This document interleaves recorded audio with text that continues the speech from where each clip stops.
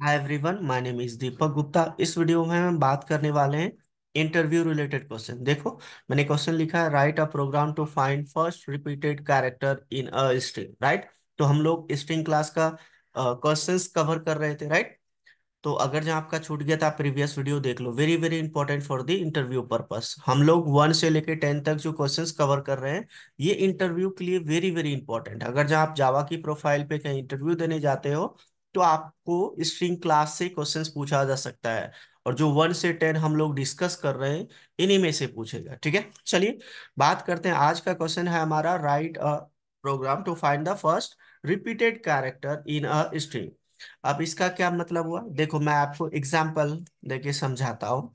मैंने यहाँ पे लिखा दीपक डी डीईवी मतलब दीपक डेवलपर अब इनमें से देखो, जो फ़र्स्ट जो कैरेक्टर है वो फ़र्स्ट रिपीटेड कैरेक्टर को प्रिंट करवाना है। सेकेंड वाले को नहीं तो फ़र्स्ट डी है आपका डी रिपीट हो रहा है ना तो ओनली डी को प्रिंट कराना है। क्लियर है पॉइंट आई होप क्लियर कि ये क्वेश्चंस का मतलब क्या है। चलिए हम प्रैक्टिकल डिस्कस करते हैं। तो मैं क्या करता हूँ, एक फ़ाइल बना लेता हूँ। फ़ाइल का नेम दे दिया मैंने S T R twelve dot Java ठीक है? एंड देन सेव कर लिया। क्लास बना लेते हैं हम लोग। माई स्ट्रिंग क्लास का नेम कुछ भी दे सकते हो। And then main method user से इनपुट लेना है तो आप स्कैनर क्लास का ऑब्जेक्ट क्रिएट कर लो, ठीक है? Then new scanner system dot in अब आपको इंपोर्ट भी करना पड़ेगा इसको, ठीक है? तो इंपोर्ट कर लो आप स्कैनर क्लास को Java dot util dot scanner semicolon ठीक है? अब यूज़र को एक मैसेज देते हैं हम लोग कि आपको स्ट्रिंग इंटर करो, ठीक है ना? तो system dot out dot print LN और यहाँ पे मैसेज देता हूँ इंटर वर्ड कोई वर्ड इंटर करो, ठीक है? उनमें से फाइंड करना है क्लियर पॉइंट चलिए, अब यहाँ पे मैं उसको जो भी स्ट्रिंग इंटर करेगा यूज़र हम उसको एस टी आर वाले वेरिएबल में स्टोर करा लेंगे input dot next line method की हेल्प से, चलिए। सपोज़ करो यहाँ पे इंटर किया यूज़र ने, मैं अपना ही नेम लिख देता हूँ दीपक डीईवी ठीक है?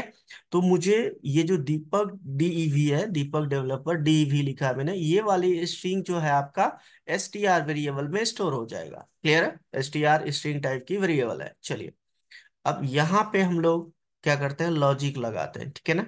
इफ़ सॉरी फोर लूप लगाओगे इफ़ नॉट चलिए, अब इंडेक्सिंग आपको पता है जो कि बेसिकली एरे का ज़ीरो से स्टार्ट होता है, ठीक है ना? तो हम लोग इसको क्या करेंगे? तो हमारा ज़ीरो नंबर इंडेक्स पे क्या है? डी है, फिर वन पे ई e है टू पे ई e है। तो हम यहाँ पे क्या कर लेते हैं? इंट आई इसको प्रिंट करा लेते हैं। मेरे ज़ीरो से start I less than S T R total जो लेंथ है उसका वो प्रिंट हो जाएगा।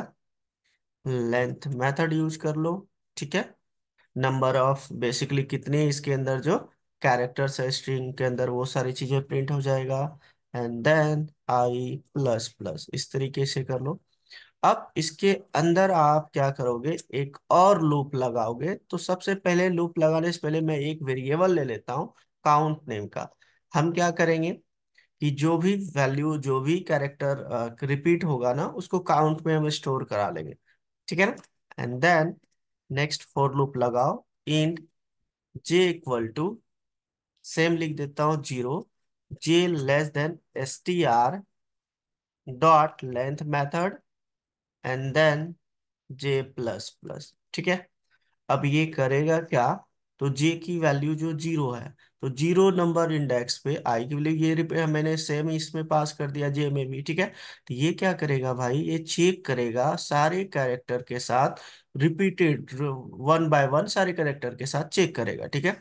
तो उसके बाद चेक करने के बाद यहाँ पे कंडीशन लगा देता हूँ मैं। अगर आपका जो है एस टी आर में जो स्ट्रिंग है, इसको कैरेक्टर कैरेट मेथड ले लो, ठीक है? आई आई नंबर मतलब ज़ीरो नंबर इंडेक्स पे जो है और जो स्ट्रिंग कैरेट जो जे नंबर पोजीशन दोनों इक्वल है।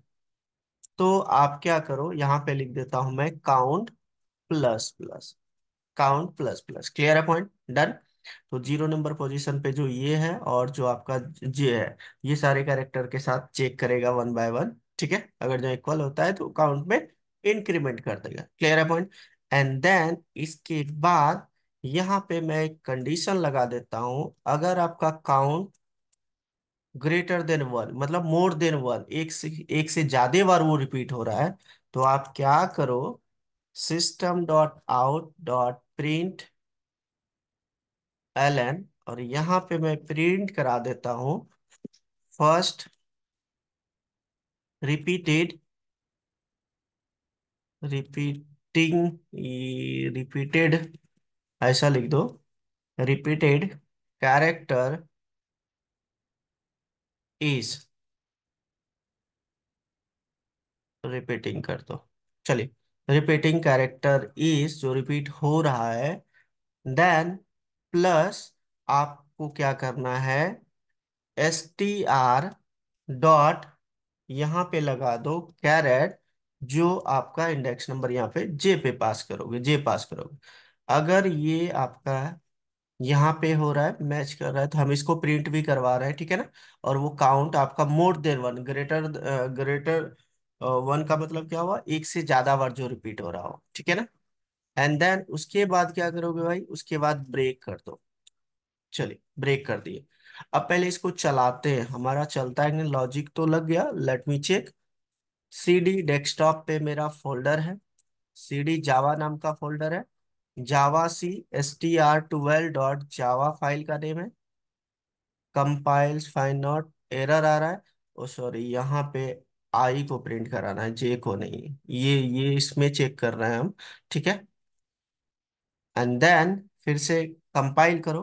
देखो कंपाइल्स फाइन क्लास का नेम है माई स्ट्रिंग चलिए। हमने यहाँ पे लिखा दीपक डीईवी अब इसमें देखो फ़र्स्ट रिपीटेड कैरेक्टर डी है तो डी ही प्रिंट होनी चाहिए आपका। First repeating character is D देखो, आ रहा है। अगर जब मैं यहाँ पे कुछ और लिख देता हूँ जावा जावा दीपक, ऐसा कुछ लिख दिया तो इसमें देखो फ़र्स्ट रिपीटेड कैरेक्टर ए है तो ए प्रिंट होना चाहिए आपका। देखो ए आ रहा है। क्लियर है पॉइंट तो ये क्वेश्चंस कई बार पूछा गया है। Very very important for the interview purpose I hope clear ठीक है? चलिए। तो इसको आप नोट कर लो। नोट करके प्रैक्टिकल करो, ठीक है? प्रैक्टिकल करोगे तभी लॉजिक क्लियर रहेगा, ठीक है? नोट करके प्रैक्टिकल करो। एंड देन लाइक करो कमेंट करो सब्सक्राइब करो, यार। मिलते हैं नेक्स्ट वीडियो में। Thank you bye bye